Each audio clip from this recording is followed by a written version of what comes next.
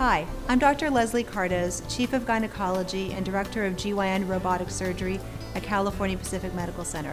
One of the reasons we're talking with you today is to encourage women to know what their options are.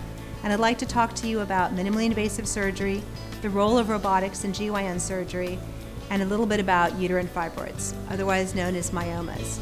Fibroids are common, smooth muscle tumors that affect approximately 25% of women, and are one of the common things that women come to see their gynecologist about. They cause certain symptoms like pelvic pain, painful menstrual cycles, and often cause abnormal bleeding.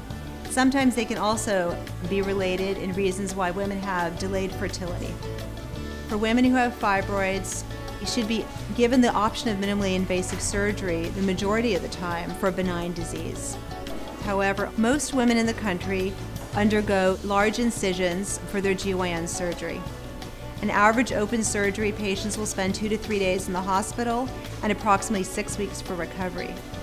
Minimally invasive surgery allows the surgeon to make small keyhole incisions 5 to 8 millimeters in diameter, about the diameter of my pinky finger. Through these small incisions, we're able to put a camera, usually at the belly button or umbilicus, and other small incisions in other areas in the abdomen. Through these small incisions, we put laparoscopic ports, and through those ports, we actually put long laparoscopic instruments. The Da Vinci robotic system enables us to do minimally invasive surgery in a very precise, delicate manner. The robotic system on the Da Vinci surgical system has four arms that enable us to hold a camera and three instruments to do our work inside the patient's abdomen. The console is where the surgeon sits remotely from the patient and puts their hands in handholds. The motions of the surgeon's hands in the console are mimicked with small motions in the patient's abdomen. The other surgeon stands at the patient's bedside and is able to introduce the instruments in and out of the ports. Minimally invasive surgery has many advantages. Primarily, small incisions mean less pain postoperatively.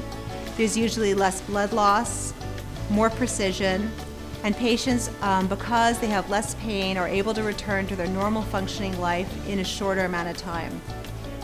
I hope this has helped you learn a little bit more about uterine fibroids and options for minimally invasive surgery to treat myomectomies and hysterectomies. I'm Dr. Leslie Kardos, and now you know.